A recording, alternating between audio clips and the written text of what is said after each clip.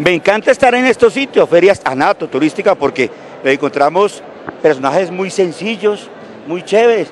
Aquí me encontré, y aquí está.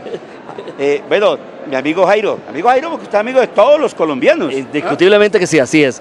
No, no, gracias a ustedes, la gente de la prensa que apoya eventos como estos, porque Anato no sería nada sin gente que lo promueva y ustedes vienen aquí y apoyan a toda esta gente que viene de sus regiones, de sus países, a promover sus productos. Así que, ¿Y usted de dónde es, Jairo? De Cartagena de Indias. De Cartagena. Y usted lo vi que le pidió una foto a la reina, vea. Claro. ¿Ah? a, mí me piden las feas y yo le pido las bonitas. Venga, Jairo, ¿y, dónde está ahora?